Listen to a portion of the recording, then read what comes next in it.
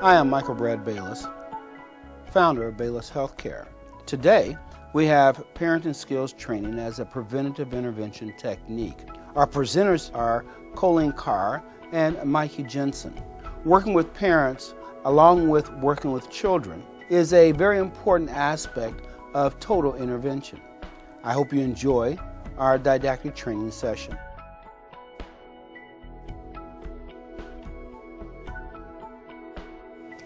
Going to be doing a didactic presentation today on parenting skills training as a preventive intervention technique, and also something that you all could maybe use in your individual sessions with um, children, family, clients.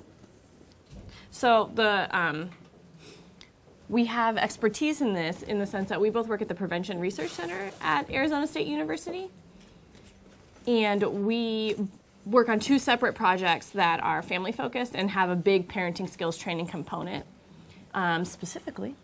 So I work on the New Beginnings program, which is a program for parents that are going through separation or divorce, and it teaches these parents parenting skills.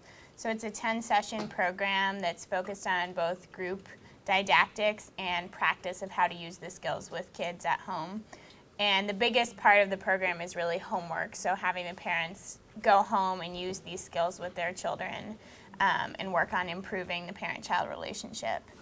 And we've been doing research on this program for over 15 years, and it's found to be very effective long term um, in reducing child internalizing and externalizing and substance use.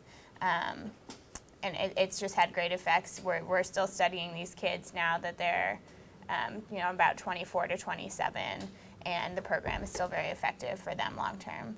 Um, one thing to note is that initially we'd started with having this program be both a parenting component and a child component, and we learned that the child component didn't add anything. What was really effective was the parenting component alone. So the message here is just that by intervening and changing parenting strategies, you're able to influence child outcomes. And so I work on the Bridges to High School program or Puentes a la Secundaria. And so it's a family intervention. So it has an adolescent component, a parent component, and a family component. And it's nine weekly sessions. And so um, it's designed specifically for Mexican origin families here in the Valley, was where it was developed. Um, but the skills are applicable across race or ethnicity. Um, it's just been tested in Mexican origin families because that's a population that's been understudied and underserved. And um, we did integrate some more family values and things that might be extra helpful to Mexican origin families. Um, it has long term outcomes through young adulthood. So we've just finished collecting data through when the kids are early 20s, young adulthood. And we have effects on internalizing, externalizing, substance use, and it looks like school dropout, um, which is an important outcome too. We haven't published that yet though. Um, and it looks like actually when we do mediational analysis that the effects of this program on child outcomes are largely mediated by those parenting skills. And so the parent component how it works is so it's nine weekly sessions and the kids meet in a group together the parents meet in a group together and they all come together at the end for a family session. And it seems like that parent component is a very strong piece. So we're talking about this because parenting skills are sometimes referred to as like a universal intervention. I've heard them referred to as like inoculation for just any group of people because they can be helpful even if you don't have a really problem behavior child um, and they usually target things like family interactions, good listening skills, discipline strategies, and effective discipline. And then we're also going to talk about some of these divorce specific parenting strategies that might be a little bit different than um, a universal strategy, but are still really helpful to a lot of families. So I'm going to talk a little bit about positive family interactions. And a lot of these things are things that I've used with many of my child clients. So just think when you're when you're listening to this about how these skills might apply to some of your cases. So, okay, the first way that you can help people strengthen their families is by helping them establish new family routines. And family routines are really important, especially um, with families that are experiencing changes like divorce, um, because they show kids that their lives are predictable and that they have certain things that they can count on. Examples of family routines are things like sharing meals together, having a bedtime routine, or having special movie nights or game nights or something that you do on a regular basis, or attending religious services, just things that enable children to anticipate what's going to happen in their lives. One way to establish a routine is to have special time, which is individual time you spend, a parent spends with their child for 15 minutes each week. And the goal of special time is to help children feel connected to their parents and to show children that they really matter to their parents, that their parents want to know what's going on in their lives and just want to spend this special time with them. So the idea of special time is that it's something that's an official routine. So children know, you know, special time is going to happen on Monday evening or something, and you call it special time. And the parent announces it to the child, it's our special time now. What do you want to do? The child gets to choose the activity and the idea is that during this time, the parent is just giving positive attention and just showing unconditional positive regard. So, this isn't a time for teaching or criticizing or asking a lot of loaded questions. It's just a time to let your child play what they want to play and just kind of follow along with what they're doing. A few more details that I, I mentioned already about special time. It's important for parents not to teach or criticize or give commands. Um, it's just a time to follow their lead. So if a child is misbehaving during this time, parents should just try to ignore it and maintain the special time together. If it becomes such a huge problem, you can suggest to parents that they end the special time and try it again. And it's important for parents to just emphasize that they really enjoyed the time and that they want to do it again, that this is really going to become a meaningful routine for the family one thing to keep in mind is that this special time is very different for younger children and for older children. One way it differs is the kind of activities that you might suggest that parents try with their kids. Keeping in mind that kids get to choose the activities, but sometimes it helps for parents to have some ideas in mind to suggest to kids if they can't come up with something. So, for younger children, some good activities are drawing or playing a game, building with blocks, playing house and one thing that you can suggest parents do with younger children is act like a sportscaster. So, what parents do is they describe or narrate what their child's doing. So, if the child's drawing a picture, the parent might say, "Oh, you know, I see you're you're drawing a house and a dog," and just to show your child you're paying attention and you're really attuned to what they're doing. And like we I mentioned, it says here, you know, you're drawing a blue dog. So one thing that parents should keep in mind is that this isn't a time for corrections or criticism. So you wouldn't say to your three year old, Oh, is the dog really blue? You'd just be like, Oh, that's a really great blue dog you're drawing. So the way that special time looks different with older children is that the activities might be a little different. So it might be more like going for a walk or cooking together or talking. Just it can be just talking, um, playing a card game or having a, your child teach you how to play a game. So just have parents keep in mind the age appropriateness of the activities they're doing. And with older children, parents shouldn't act like a sportscaster because older children would probably find that annoying for the parent to be commenting on their every move. Um, so the parent should still follow the child's lead and kind of just do what they want to do, however they want to play the game, whatever they want to draw, um, but not do the sports casting. and with all children, no, no teaching questions or criticizing. You can ask questions, but not, you know, leading loaded questions. Another routine that I use with a lot of my families to increase positive family interactions is family time. And again, this is a special routine time. So it's like a one to two hour time that a family sets aside each week to do something special together as a family. And the goal is to increase positive family interactions and to help start a new family tradition. And it should be an activity that everybody in the family wants to do. The kids choose it, like with special time. It should be inexpensive, so it's something that the family can really maintain doing every week. You don't want to make it some big trip. Um, it should be something small, like going to the park or something like that it should be something active, so it shouldn't be watching TV or going to a movie or doing something that the family can't really interact while it happens. It should be more like something like a board game, something that really sets the stage for the family to, to have a conversation and to have active fun together. one rule you can tell parents that they can set for their kids is that there's no complaining, whining, or fighting during family time. This is a time for the family to spend positive time together where they're not criticizing each other or arguing. Um, some ideas for family fun time are listed on this slide if you want to quickly look over them. As you can see, all of these things are inexpensive things that are active and um, you know, it's important to keep in mind that they're age appropriate for all of the people in your family and that they're things that everybody would enjoy. And one thing that I like to suggest to families about family time is to get the whole family together to come up with ideas for what they want to do for family time and to write those ideas on little note cards or something. The ideas should be things that everybody agrees, yes, we're willing to do this. Then you stick them in a bowl, and when it's time to do family time, you pull one out. Um, so you have kind of a fun way to pick what you're going to do.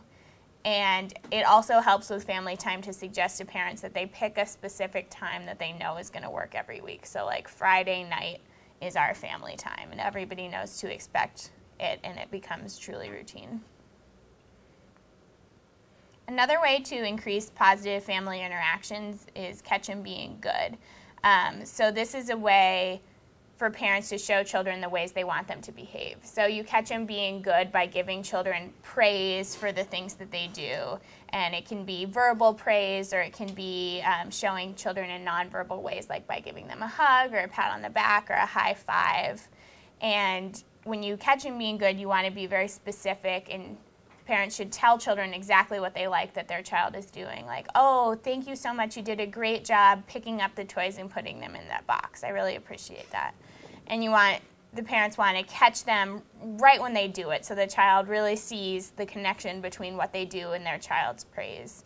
And parents shouldn't be stingy with catching being good. They should praise their children as often as they can so their children feel appreciated and know what their parents expect of them.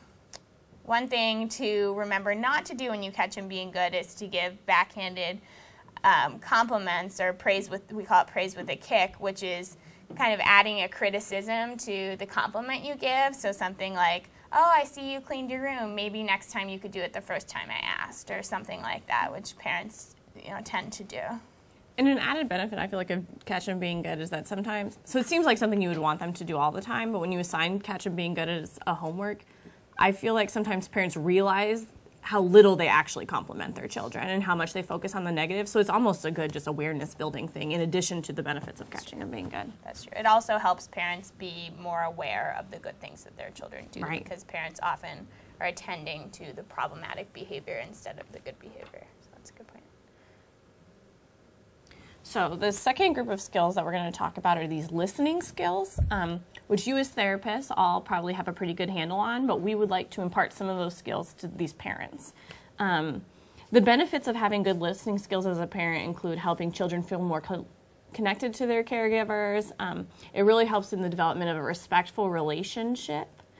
Um, the one benefit is that it makes children feel more comfortable sharing and confiding in their parents, really building that connection between parent and child fosters a relationship that'll be good in the future for things like sharing, especially when a problem comes along. And then it also helps parents understand the child's problems because they're actually listening. So, what is this all about? Um, so, the first guideline is that you, when you listen, you really want to listen. So, you want to show the child that you're ready and available um, body language is really important, so turn towards the child, eye contact, set down whatever else you're doing. So it's really, really clear to the child that the parent is listening. Um, and then asking open ended questions um, is a great way to get this started. So, what did you do at school? Did you have a good day at school? It's more of a yes no. So, you want to make sure that the child can expound upon whatever they're going to share with you. And then we also refer to these use say mores, which are things that as therapists you all do too. So just brief phrases or things that you could, you know, slip in that show the child that you're really listening and encourage more talking because that's the goal. So some examples of say mores. So the child's talking and you say, "Oh, tell me more about that," or "Mm-hmm," just any verbal or nonverbal signal that shows this child that, "Oh my gosh, my parent is super paying attention to me." So nodding can serve that purpose as well. Um, it's also good for parents to use summary statements, which is just another way to show the child that they're understanding what he or she is trying to say. So, um, pretty much paraphrasing what the child says. Um, it seems like you're saying checking in, making sure that you've got it right. Um, another thing that's really important, and I think that parents sometimes don't think to do, is including feelings statements or feelings discussion in these um, listening skills with their kids. So, feeling statements would show a child that the parent is really trying to understand how he or she feels, which is oftentimes what a child is really looking for. So, um, and it can encourage the child to understand and talk more about his or her feelings in the future, too, not just in this interaction. So, if there's any emotional content to what the child is saying, a parent can use a feeling statement and check it out. So, and just guess. So, it sounds like you may be feeling mad or sad. Is that right? and the kid will correct the parent if they're wrong. But um, it shows the child that this is something that matters and they should feel open sharing. A really important listening skill for parents that I feel like comes up a lot are um, dealing with quick fixes. So it's really tempting when you're listening, you know, you're really dedicated to listening as a parent, to get pulled into trying to fix whatever the child is sharing. So um, the child is talking and shares some experience and you're like, oh my gosh, I should tell them how to fix that because the parent, usually that's their job. And so, in this kind of a sense, though, quick fixes actually prevent good listening. So, quick fix would be giving advice or a solution before really understanding what's going on and giving the child to share a chance to share. So, um, we usually advise parents to listen first because sometimes the kid really does just want to talk or vent and doesn't really need you to fix it for them. Um, and in fact, if you were to provide a quick fix, you might miss important information. You don't give the child that chance to really get out what they wanted to get out. And um, you might cut them off, which probably would discourage talking in the future.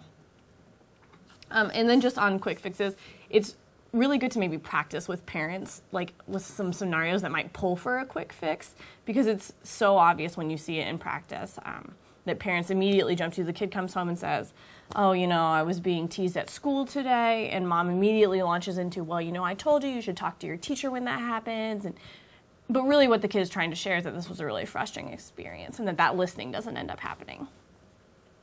Um, so this is um, the next strategies we're going to talk about are effective discipline, which is kind of like when the positives aren't enough. so Noncompliance develops over time. Um, as you all know, it has contributions from many areas. So, the child's personality, the parents' personalities, um, stress, and then even parenting style. And there are family cycles that contribute to these patterns of interaction and communication over time. So, the most common pattern you'll see is a coercive cycle, where the parent and child are locked in this battle, um, and it really just becomes the way the family works. So, this is a good example we like to use. So, say the parent says, it's time for bed, which most parents at some point or another have to say. And the child says, well, I don't want to. And the parent proceeds to escalate a little bit and says, no, you need to go now. It's bedtime. The kid um, picks up a toy, throws it, or threatens to throw it. Um, so the parent grabs the child's hand and says, stop. The child uh, starts freaking out, tries to bite the parent's hand. So the parent releases that hand and storms off, and the kid goes back to playing. So, what happened there? Um, both people got reinforced, actually. So, the child escaped the activity and didn't have to go to bed, which so they learned that throwing a tantrum actually works. And the parent escaped the tantrum by withdrawing.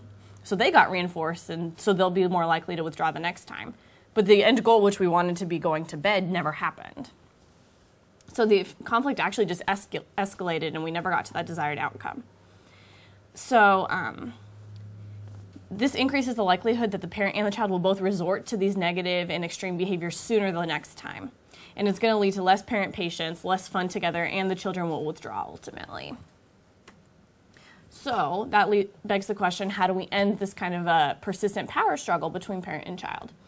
So, um, the goals we usually have are to increase positivity in these kinds of interactions, to develop clear and realistic expectations, to communicate those expectations to the child, um, adopt consequences that fit the misbehavior, and to be clear, calm, and consistent, the three C's, with consequences. So we'll talk about these in a little bit more detail here. So, first, let's talk about clear and realistic expectations. it's really important in a family context for the children to understand what the expectations for behavior are.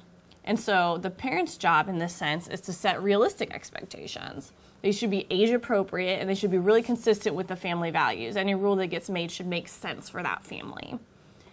And that's also why sometimes these expectations aren't necessarily transferable across families. It's important for the family to work on developing their own. So then these expectations need to be stated in a clear and really specific way. So the children need to be told exactly what the parent wants him or her to do. And then we want to be identifying um, behaviors, not qualities. So instead of telling your kid, be good, which what on earth could that mean? A lot of things. You want to say, be quiet during church, which is a behavior like specifically what you're asking for right now. And that sets a clear expectation. And it's realistic. So here's some examples, and I'd like you all to share. So um, let me know if you all think these are expectations that are clear and are they realistic. So a 12 year old child should put his or her own dishes in the dishwasher after dinner every night. Clear? Realistic? I agree. um, because it gives a time frame of when this should happen after dinner, and it's something that a 12 year old can probably handle. How about a four year old child should keep the playroom clean? Is it clear? No. Why not? Like- a specific behavior or when it should be done and how it should be done. It's like what's clean or clean enough, rather. And you're right, there's no um, specifics when, how much. And then is it realistic that a child should keep a playroom clean? I mean, all the time? Yeah, this is not very clear about when and how that should happen. How about an eight year old child should go to bed on time? Is it clear? No. Why not? What time? What time, right? Um, and how about realistic? Yes. It could be realistic if it was a little bit more clear about what that expectation was. How about a 16 year old child should finish homework before watching TV? It's pretty clear. Um, the expectation is homework done before TV, and it's realistic. A 16 year old should be able to handle that. So, um, related to these clear and realistic expectations are how to give effective commands or directives to a child. And um, these can be really helpful to parents in group or individual settings. So they're based on those clear and realistic expectations. And so here you're going to be wanting to tell the child what to do, not what not to do. So instead of stop watching TV and clean up, you might want to say, please turn off the TV and put the toys in the box. So do you see the difference there? You're not telling them just to stop doing something, but rather replacing that with what does need to happen in a specific action. Um, it's really important that you frame these as a command and not a question. So rather than, will you load the dishwasher? Which still has the option for the child to say no. um, it's, please load the dishwasher. Um, and I think that that's actually a really important one, especially as kids get older. Um, they're much more willing to take questions as if they're optional. And um, I think it's important to give a warning. So, say, in five minutes, I'm going to need you to please load the dishwasher so the kid can be ready for that and more likely to comply. Um, it's important that if you're going to choose to give a command, you only do it when you can know you know that you're going to be able to follow through. So you want to um, get your child's attention. So this is kind of a listening to those things. You know, put yourself in front of them, reduce distractions, turn off the TV, um, and then make eye contact. So you know for sure the child heard you. Because I think that's actually a, a interaction I get into a lot with parents when they're talking about their child not complying. I'm saying, well, is it that they didn't hear you or pay attention the first time, or is it that they chose not to do it, or just didn't? And I feel like often they're not sure because you know they shout it from the other room. It's just really easy to get into those kinds of habits. You want to make sure you're only giving one command at a time so it's super clear for the child to know what they're supposed to be doing. And it's sometimes helpful to ask the child to repeat it back to you so there's absolutely no question whether or not it was understood. Um, so, in general, it's usually better to do positive reinforcement for when these behaviors happened rather than punishment. So, this should be the first resort for discipline. And sometimes praise is enough. If that child really does go load the dishwasher, um, you say, Great, oh my gosh, I'm so proud of you for loading the dishwasher. Awesome. And often that's enough to get kids excited and have them do it the next time.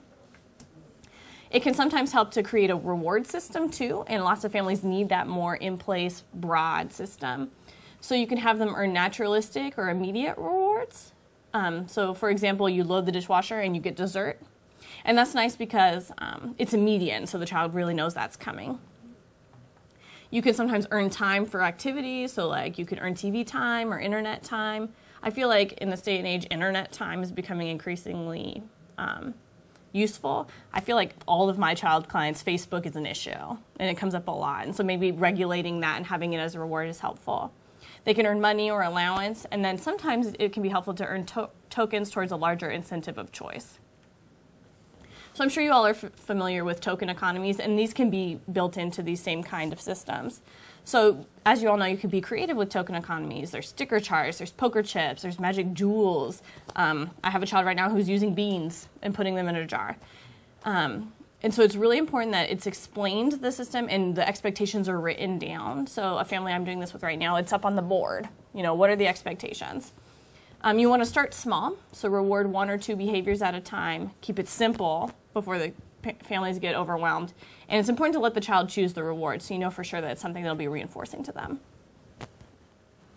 These are just some examples of token economies that people have done. So this is like a sticker chart, um, a jar full of poker chips, and then this is a more intense sticker chart. But the themes that are common across all of these are clear expectations. The child knows exactly what they'll get if they do these positive behaviors, and they know what they can change in those tokens for at the end. Okay, so now we're going to talk about the three C's of effective discipline. This is very related to when we're talking about effective commands and things like that. So the first of the three C's is to be calm. So you want to encourage parents when they're disciplining, disciplining their children to do so when they can be calm about it and not to punish out of anger. So you want to suggest to parents that they never decide on the negative consequence when they're angry, and parents can always say, you know, I'm very upset with you right now that you missed your curfew. We're going to talk about this later. And they can postpone it and put it off um, for a little bit until they can calm down. It's important to remind parents that the punishment should fit the child's misbehavior and not just their mood at the time. So often, when parents punish when they're really angry, the punishment is too harsh, which leads to parents being inconsistent and increases negativity in the parent child relationship. So you want to encourage your parents to stay calm and to give an appropriate consequence for the misbehavior. So, like Mikey was talking about, parents should be very clear with their children when they're disciplining. So, they need to communicate their expectations clearly. So, like Mikey was saying with the sticker chart, when you write down exactly what you expect, you want to make sure that parents have clearly communicated to their children exactly what they're looking to see from them. Um, this helps children understand what's expected of them and sets them up to succeed because they know what they need to be doing. The consequences should also be clear. So parents need to be aware of exactly what they're going to do when their child meets their expectations or when their child fails to meet their expectations. This is something that parents really should think about in advance, not just when a child does something bad, be like, oh, how am I going to handle this? But to really have a plan in mind for how to give positive and negative consequences. So the third C, which is very related, is consistent. So since parents have developed this clear idea of how they're going to handle um, children meeting expectations and not meeting expectations, then they need to actually follow through on it.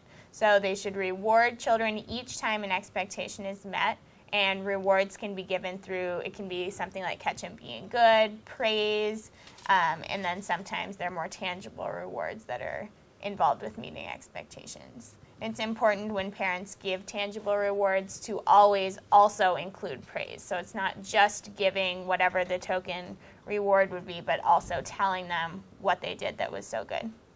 And to be consistent, parents should also provide a negative consequence when the expectations are not met. So, without consistent follow through like this, children would push the boundaries. If they don't know that they're going to get punished, they might risk it. And if you don't, if parents don't follow through on giving negative consequences, children won't learn what the rules are. They won't really understand what's going on, and then they'll create this discipline cycle between parents and children. So, th- the main message here for parents is to suggest to them that they really have a plan for how they're going to respond. Like if they have a consistent problem that they're facing with the child, like my child misses curfew all the time. I need to sit down and think about what am I going to do when my child misses curfew? What am I going to do when he comes home on time? And then communicate that to the child. So, you know, if you are not home at nine o'clock, you won't be able to go out tomorrow night or something like that. And it's important um, or it's useful when the consequence is related to the misbehavior. So, something like that. If you miss curfew tonight, you can't go out tomorrow. So, there's this direct link between the punishment and the misbehavior. So this is something that I use with my clients a lot actually. It's the levels of consequences for discipline. So the idea here is that parents should use the lowest level consequence that works to address a misbehavior. So you don't want to do something major to address a minor problem because you need to save those major punishments for when something major happens. So let's talk about the first step here, which is ignoring. So I suggest that parents ignore minor misbehaviors like whining or tattling or interrupting when parents are on the phone um, because usually when children are engaging in those kind of behaviors, what they're looking for is attention. And by removing attention, parents aren't reinforcing the misbehavior. So in some cases, I suggest to parents that they tell their child that they're going to ignore them. So if it's something like a, the parent has made a decision that they've informed the child of, like, no, you can't go over to Johnny's house after school because you haven't done your homework. And the child keeps coming back, please, can I please go to Johnny's? Can I please? I might say to the, suggest that the parent say, you know, I've already shared my decision with you. I'm not going to listen. We're not going to talk about this anymore. Just kind of say, I'm ignoring you now. But there are other cases where parents don't need to tell their child that they're going to ignore them. So, like if the parent's on the phone and the kid keeps interrupting, the parent can just go ahead and ignore. So, ignoring works to address a lot of these little misbehaviors. And the second step in terms of levels of consequences is increased supervision. So, this is something that might be good for a misbehavior like a child not finishing their homework increasing parents increasing their monitoring of the child might work to address this misbehavior. So checking in with the child, you know, it might be something like if you're if the child um, isn't calling the parent to tell them where they go after school, the parent might be te- have text um, text the child and ask the child to text a response. Just it's basically just increasing monitoring. And sometimes I feel like, you, especially for teens, that extra monitoring is kind of aversive. Mm-hmm. Like they really don't want that, and so they're willing to avoid it. Right, right, that's true. And um, then the next step is natural consequences. So this is basically the parent just not doing anything. So if the child refuses to eat the meal that the parents made, for example, the parent would just say, "Well, if you don't eat that, I guess you're just going to be hungry." And that's what happens. Or if the child if a child leaves his toys outside, and even though you've told them you need to put your toys away, and then the toy gets stolen or gets broken, the parent doesn't replace it. So it's just kind of letting things happen as they will and allowing your child to see, oh, when I leave my toy outside, it gets stolen, or when I don't eat what my mom makes, I'm hungry. Um, so sometimes there aren't natural consequences for misbehavior, but when there are, those are good ones to use. Um, the next highest level consequence is removing privileges. So, um, and like I was saying, it's good to link the misbehavior with the privilege that's removed. So, like if the child doesn't finish their homework before watching TV, and that's the rule, they can't watch the TV show. So, the privilege that's removed is very related and understandable to the child. Or, like this one, if they come home late one night, the next night they have to come home earlier. And then the highest level consequence, which should be saved for serious misbehaviors like fighting or uh, skipping class or something like that, are to give something unpleasant. So that could be a timeout or a grounding, early bedtime, or an extra chore. And one thing to keep in mind is that some parents use spanking or physical punishment as something unpleasant to give and I always suggest that there are more effective ways to give something unpleasant and that you know spanking sends the wrong message to children and that these approaches can be preferable. So in helping parents choose consequences that they should use, I suggest that they consider if the consequence really fits the misbehavior. Is it fair? It's really important to use the lowest level consequence that controls the misbehavior because parents don't want to just jump in and be mean and scary and ground their kid for whining. It just, it's just not the best way to do it. Um, you should save the big punishments for the big problems. And um, you should also suggest that parents consider if they can consistently give the consequence. Um, like if, I'm trying to think of, think of an example. So I feel like it comes up with school stuff a lot. So in the sense that if a misbehavior is in a context where you actually have zero ability to enforce the consequence at that moment or ability to know about it. So if the rule is don't, you know, give away your yogurt at lunchtime, I don't know, something that you have no idea whether it happens or not, that's probably not a very good thing to have a consequence about because you're not going to be able to enforce that. Oh, I just thought of one too. Or like if you're going to, if you say you're going to increase monitoring and you're going to really pay attention to when they're doing their homework and things like that, and you really can't be home in the evening to do mm-hmm. that, that wouldn't be the right consequence for you to pick. So they just have to make sure that it's something they can follow through on so their children really know what to expect. And obviously it's important to be clear with your child so that they really n- understand what's going on and so they have the opportunity to learn this link between their misbehavior and the consequence. Related to that, to that is the um, like don't punish yourself through the consequence. So I feel like you want to make sure it's something that if you do have to do this consequence, it's not going to be an awful thing for the parent to have to do.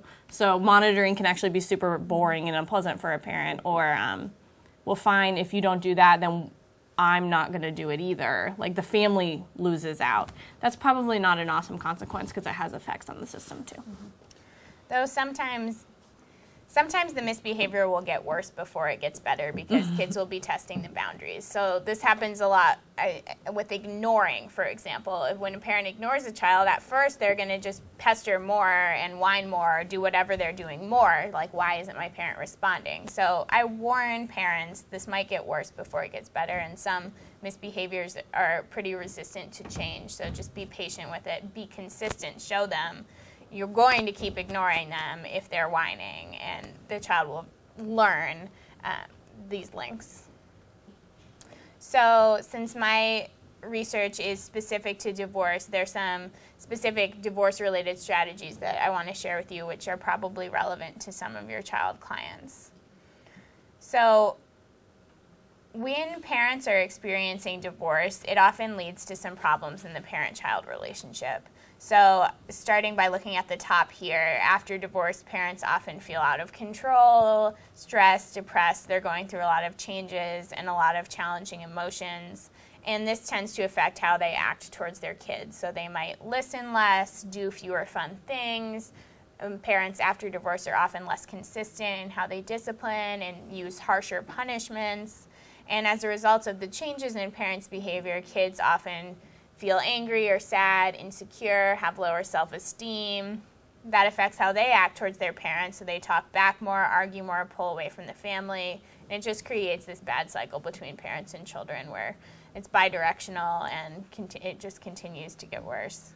So, by using a lot of the strategies that we've talked about today, you can encourage parents to perpetuate a positive cycle with their children. So when parents start to do more fun things with their kids, like the positive family interactions we talked about, like the family time and the special time and catch them being good, and when they use the listening skills that Mikey talked about, it affects how kids feel. They feel happier, more confident, more secure. They feel like their environments are more predictable. Then they talk back less to their parents. They have more fun time spent together. Then the parents start to feel happier and like they have better control over what's going on. And so it just perpetuates this more positive cycle in families. Another way to perpetuate the positive cycle, besides the things that we talked about that's specific to families going through divorce, is keeping children out of the middle of conflict between parents. So kids get put in the middle between parents who are separating and divorcing in obvious ways, like when the parents are verbally fighting in front of the child. But it can also happen in more subtle ways, like parents asking children questions about their, their ex spouse. And parents might not see this as putting their children in the middle, but when they ask, you know, oh, is, is your mom still spending a lot of money? Or, um, what's your dad's girlfriend like or something like that it puts kids in an awkward position where they feel like they have to choose between their parents um, sometimes parents also say negative things about their exes in front of their children a lot of parents feel like my child deserves to know the truth about their parent and it's important to remind these parents that you don't need to tell your child all the bad things that your ex did. They'll they'll eventually kind of figure out the truth, but you don't need to be bad mouthing your ex. Uh, another way that children get put in the middle a lot is when family or extended family or friends make negative comments about the child's other parent um, in front of that child. So there are a lot of tools that you can suggest that parents use to prevent children being caught in the middle. So one is anger management strategies. So this is just encouraging parents to be very aware of their triggers and when they're starting to feel angry and to use, you know, relaxation skills like deep breathing um, to calm down and to prevent responding in an aggressive way. One thing we encourage parents to do is to use self-talk to stay calm. So to, to tell themselves why they shouldn't respond in a, in a, violent or aggressive way. So, saying something like, This isn't a good time to fight, my kids are here, or my children don't need to hear this, something like that. I, I can keep my children out of the middle. And it's obviously the goal here is just to keep children from being involved in conflict between the parents. So, wait to discuss issues that might be problematic with your ex when your children aren't there. And when I mentioned that a lot of times other family members or friends are involved in this problem, one thing that parents can do is make requests of these individuals to not say negative things in front of their children about their ex-spouse which can be kind of awkward so it's important you know if you're asking you know your mother stop talking badly about my ex in front of, of my kids to recognize that adult's feelings so you know say say to your mother I understand that you're upset that my ex hurt me so much, and you know I appreciate that you care. But my children really look up to you. They listen to what you say, and it's hurtful to them to hear what you're saying about their father. Please refrain from saying negative things about him in front of my children. So, by doing that, you recognize that adult's feelings, you understand that they're upset, you explain why you're making their request, you don't want your children to hear these things, and you respectfully just ask for the change and say what you want them to do. I don't want you to talk about my children's father in front of them. And um, what I did also was acknowledge the importance of that individual to the children. So, you know, the children really listen to you, they really look up to you, they care about what you're saying, you're important to them. Oh, so that's all. I have Um, one question. mhm. Uh, what do you do in the sense of when the parents in a divorce or separation, when they're using their kid as a mediator? In other words, either the kid wants the parents to be back together again, or one of the parents wants to get back together again with the other parent, and they utilize the kid to send those messages back to the other parent. And I mean, they're trying to work out the mm-hmm. problems between each other, but through through their kid. Right. So, what would you suggest in that sense? Well, I think that's two different issues too. Like with the the child wanting the parents to get back together, I think that's where the good listening skills really come in, and just talking that through with your child and making sure that you're really listening and understanding what they're feeling, and being very honest with them about the fact that you won't be getting back together. And then in terms of you know not putting kids in the middle, I think just explaining to parents how that makes children feel and how it confuses them and encouraging them to speak with their spouse separately from the children and just not getting the children involved at all. Right, because I see such a big overstep of boundaries in that mm-hmm. sense, and you're giving this kid in the middle, or their kid, you know, power mm-hmm. over a relationship, you know, and Right. so I've Yeah. seen that a lot. Yeah, I think just emphasizing the difficult position that that puts children in and the pain that that confusion can cause them. And just mm-hmm. encouraging parents to use the self talk to remind themselves that this isn't their child's responsibility, that this is something that they need to handle separately from their children.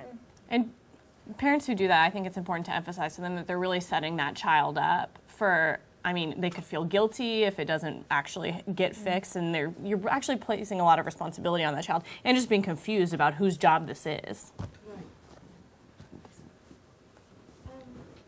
this is reminding me of um, a case where the father, who was somewhat rigid, really didn't refuse to acknowledge that he was saying anything bad about the mother. High conflict family, having to use a mediator to talk, really don't communicate with each other. And when the, the kids visit um, and complains about, say, something that the m- mother requested, they did, didn't really agree. Uh, he used to say, "Well, that's your mommy," Mm-hmm. but without really. Uh, he, you know, I believe that's still detrimental. Right. What's your opinion? Yeah, I think that's you know what I was saying with the subtle ways that parents do it. It's not just screaming at each other in front of the kids, but kind of these backhanded comments like, "Oh, your dad's still feeding you hot dogs for dinner. He hasn't figured out how to cook yet," or you know, little things like that. These like little jabs that parents throw in that that kids are very aware of too. And what we always emphasize with this program is that the greatest gift you can give children during divorce is showing them that it's okay to love both of their parents and to be open about the fact that they love both of their parents. They shouldn't feel like they have to take sides. Okay? Um, are the strategies for the parents who are divorced, do you feel like that still can work with parents who've never been married but just been separated over time? Yeah, yeah. Yeah, that's true. Yeah, just any couple. Okay. It does Right. get a little.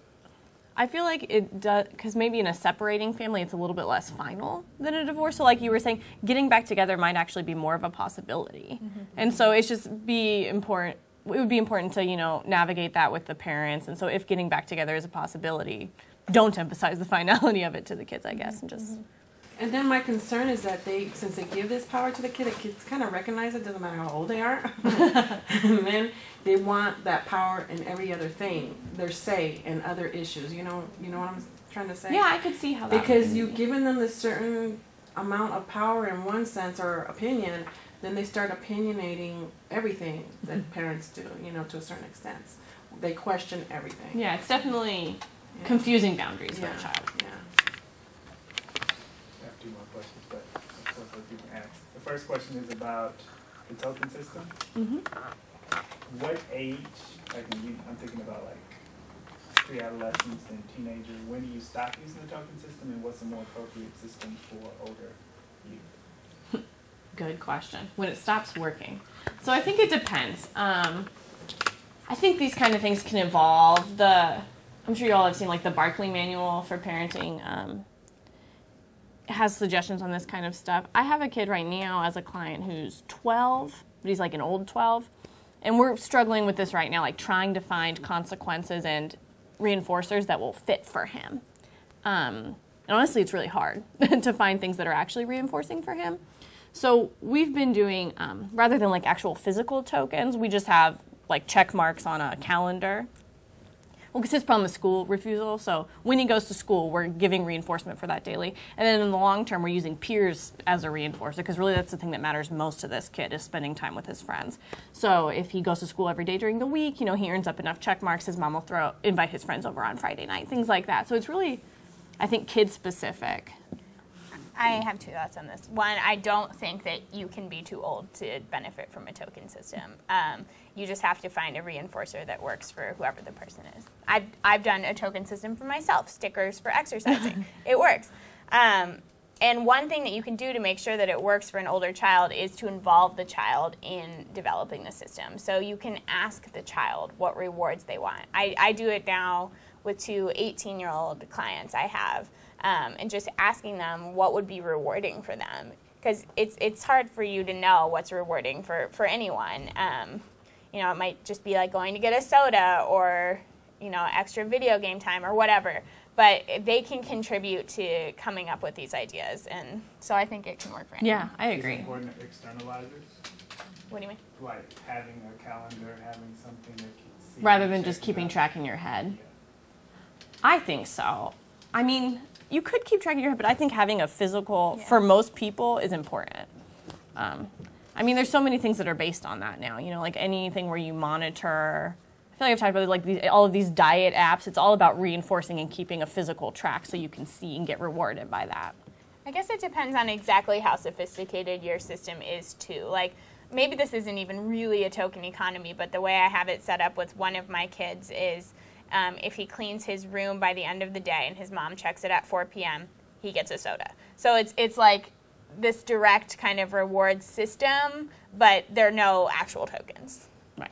You can sometimes just use the direct reinforcer instead of a token. Right, right.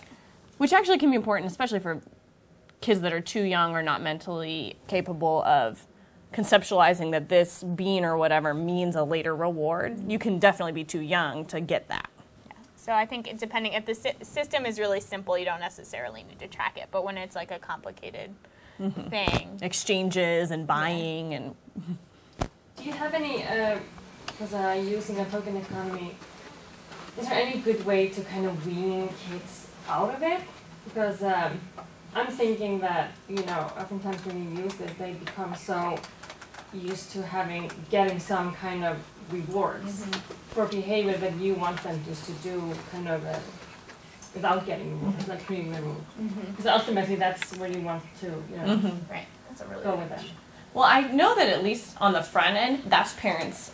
My most frequent thing that parents say to me of why they don't want to do a token economy is because these kids are supposed to be doing this anyway. These are not things I should have to be paying my child to do. Right, like giving them a soda for cleaning the room. I mean, Right, exactly. Um, exactly. You're like, Forever. no, you should just have to clean your room. Yeah. um, so in that sense, I usually just say, well, it's not happening how it is, so we're gonna have to do something. But actually, I'm. I haven't ever weaned anyone off of a token economy. They just do it forever.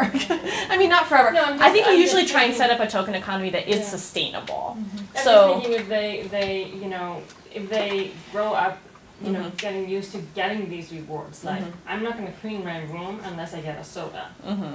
and and what is then the reinforcer for them to keep doing that and installing that responsibility Mhm. to, you know, hey, I want to clean my room because I like it more when it's clean, and you Mhm. know, I'm in a better mood when I'm in a room that's clean. So you know, the Right. the motivation for cleaning your room is always to get something I think that something like Yeah. a reward rather than the the intrinsic you know, benefits. Yeah, Yeah, exactly, it's yeah. what you. The ultimate goal is that you would like a child to have intrinsic motivations rather than these external motivations. And I'm thinking how that you know then transfers over to a lot I think of that the logic is that through these external motivations, that with development, a kid will eventually get to a point. So like, just naturally, where intrinsic motivations happen more, but that doesn't always happen, obviously. yeah. I think you also want to use a lot of the catch 'em being good and the verbal praise and kind of integrate that into it. So it's not just the tangible reward but they're also learning that you know this is a really great thing that they're doing. Mm-hmm. And then I think I actually have done this before. Where you, start to make the system harder. Mm-hmm. So instead of getting a soda every night you could be like oh m- man you're doing such an awesome job. I bet you can clean your room for three days in a row and then get the soda. And you just kind of like wean them off of it like that. And it's I think it's also okay to reevaluate. So as the kid gets older, as situations change, to reestablish a token economy that's more doable. So yeah, it might be okay. Well, you know, I really think you're getting old and mature enough, and now that I'm not going to give you a soda every time you clean your room because it's really not hard for you anymore. But and then you still want to make sure they're still getting positive things in general. Aren't you teaching them how to be disciplined themselves? Mhm. So as an adult, you want to give yourself rewards. So I need to go to work, and if I go to work these amount of times, I'm going to go out with my friends. But if I don't do this, I'm not going to reward myself. We're kind of like what Cullen was saying, working out. I really don't want to do this, but this is a place I like to eat. But if I keep doing this, and you can be teaching the kids how to reinforce themselves, It would be an eventual goal. I think that's a good point, Henry. That especially when you get that pushback from parents that I'm paying my kid to do good things, you say, actually, no, you're teaching your kid that if you do things that are good, you'll get rewarded for that. That's how it is in the workplace. That's how it is in school. Um, and so I think it's underneath still a really good thing that they're learning. And it's good to emphasize that to parents who push back against it. Something that um, I tell a lot of parents that supervisor told me is imagine we all work. We work every day, Monday through Friday, 8 to 5, and then we don't get paid. How would that make us feel? And so I kind of relate that to the parents. Say, okay, yes, I know, yes, we should go to work anyways. But if you weren't getting paid, would you want to work and do a good job every day? Mm-hmm. And I kind of explain that in the context of their praise. I'm giving the child a reward every so often because just as we, as we're adults, and we're pretty well disciplined, we're all here right now. But I'm sure if we were, if we didn't know that we would either get paid or this would help us for our future, we may not want to be here. So same thing, same thing goes for the kids. They mm-hmm. need to know that there's like a candy waiting for them or a special activity. That's also a really great way to emphasize to parents that they need to be rewarding consistently. Mm-hmm. So if you're doing a token economy and they're not in fact paying out for these good behaviors, be like, if you didn't get paid, would you keep working? And it's, I've never seen anything be so effective in parents being like, oh yeah, I should be giving them that money. I do like getting paid. Other question is, I have a, a client or a parent who understands, or at least thinks they understand, about giving effective, clear commands and trying to focus on the behavior and not necessarily quality, but they are having a hard time saying what not to do, and I don't necessarily know how to so you mean trying to coach them through like. So this is an example of you saying what you don't want, but what do you want? And they're just having a hard time. Because I know every time I leave a session, they go back to the old thing and say, stop, stop, stop, don't do that. Mm-hmm. Instead of identifying what they want. I mean, I think what you're doing, it sounds like you're practicing with them, In which, session. especially if there's like ones that come up a lot. So I do that with families, like, oh, so what is the most common thing that's like whining is a lot. So what in fact are you asking that they do? So not whining, maybe it's, you know, ask for compromise or something. And so rephrasing it with them to practice. Um, I mean, I don't know other I've, than I've, practicing. in yeah, I've had. Um, I did in a session once. I brought like I had them write down some of those no statements and then come up with the positive opposites, like what they want to see instead. So instead of saying, and actually, there's a worksheet in New Beginnings that does this too, where it's a whole page of, of don'ts. And then it's like, come up with the do's. So just to get them thinking about what they want to replace the behavior with. And I would also suggest just explaining, maybe through an example for the parent, that when you tell a child what not to do, they still might not know what they're supposed to do. If the parent can't even identify what it looks like, how's the child supposed to know what they're Yeah, supposed just do nothing. Like, what is the expectation for a behavior that they can do in that situation? Replace, because I feel like sometimes what happens, so don't yell, and then it's replaced with another also negative behavior. So I'm not going to yell, but I'm going to run around. You know, it's just so say what you want to be having happen. Do you send your therapy to the parents and recommend books that they read and what would be a good book for parenting? Um, I generally don't. I mean, I know that it could be helpful actually in this sense because there actually are a ton of. Um, I don't know the names or anything, but there's a lot of resources on these kind of things for parents because they work. And so, I mean, there's websites. Um, I don't have a name off the top of my head. Well, we use Mikey and I both Yeah. use worksheets from the Barkley. It's called the Defiant. It's Defiant Children, I think. I think it's Parenting the Defiant Child or something. Yeah, that manual. So they have worksheets to give parents about token economies and stuff. So. So yeah, there's worksheets that come along. There's online resources too that you can print off and bring with you, but it's not so much a self-help book for a parent to use. Um, there's also the Oregon model. It's a similar. I don't know who the author is, but it's um, parent PM, parent management training Oregon model, and it's a very similar thing. They just have a few little tweaks there. Yeah, it's out of the um, social learning. Wait. Oregon Social Learning Center, I think. I don't know who the author Oregon, is. the Oregon, the state. Yes. Not. Oregon like your heart. Yes, not Oregon, Oregon. And so if you want to tweak it a little bit, that's a good one too. When you reviewed the uh, divorce-specific strategy, the uh, negative cycles, I was thinking of children who say under three, where they don't have the verbal capabilities. Is it? Do you find that you may have to remind the parent, you know, the acting out and the behavior they're seeing that might be new is that child's way of reacting to the divorce, um, and what not to say or when to do things differently with them um, you know, how to create a safer space or. Um, Um, I do see what you're saying in the sense that for a younger child, it's not going to look the same and maybe not be as obvious that this is a divorce related thing. I also would caution on the other side of though that I feel like parents sometimes when they're going through a divorce or something's happening, they're like, "Oh, everything bad that's happening with my child is because of the divorce," or they'll bring them into you and be like, "We get divorced. Are they okay?" And so um, I think it's just important to balance that. And yeah, so if you're seeing new behaviors, maybe think about what that could be about. Look at the triggers. In what situation is that child being, you know, whatever that new behavior is, and could you link that? But Yeah. Yeah, Yeah, I don't know much about that. The program um, is for kids three and up, so we don't really address um, what to do with younger children. In But I could see that what you're saying would be applicable for sure. Like if I've, I've had situations where the child's asking for the other parent, Mm-hmm. and to say, "Dad's not coming back." I mean, that could be Right, yeah, right. or Yeah. where to go, or you know, um, ways to allow the parent to be handling their anger internally, but also to have those cues of, "Oh, this is what I should be saying." Blah. Mm-hmm. Yeah, I think it's still the things apply with not, you know, putting the kid in the middle, like not saying those negative things like, oh, your dad's never coming back or something like that, but using the listening skills like the feeling responses, even with a two year old who's crying, whereas daddy, you can say, oh, you know, it, sounds, it seems like you really miss your dad. I understand. You know, just that comforting warmth, I think, is the way to go with it. Any suggestions or recommendations about introducing, uh, say, a new fiance or spouse or girlfriend after divorce? Um, I think that's really just where the listening skills come in, and you know, being very clear and honest with your child, and then giving them a space where they feel comfortable asking questions and expressing their feelings, and just making sure that the parent is available to them for that.